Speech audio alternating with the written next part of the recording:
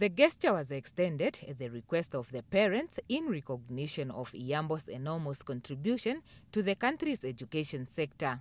The parents backed up their request, arguing that another existing school in the constituency had already been named after the late Moses Garoeb. The Abraham Iyambo Primary School has 30 classrooms and serves about 2,000 learners. On behalf of the Yambo family, his cousin expressed appreciation, saying the naming of a school after him is the best possible tribute Namibians could pay the late minister. As a family, we believe that Dr. Abraham Yambo Primary School will be a supplementary pillar of our strength.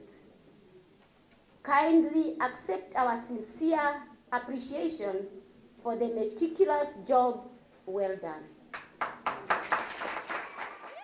Khomas Regional Governor Laura McLeod Katjirua, in a speech read on her behalf by her special advisor Rosalia Mwashekele Sevilla, said Iyambo was renowned for his great passion for education. She called on the learners to draw inspiration from his aspirations and hard work and to use this as strength to excel in school.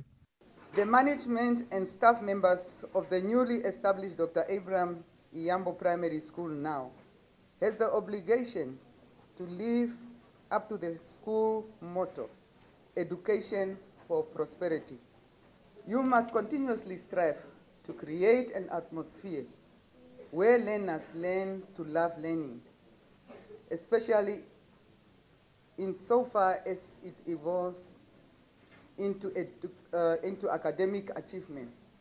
The school will still see more learners being taught in tents for the next two or three years as construction concludes.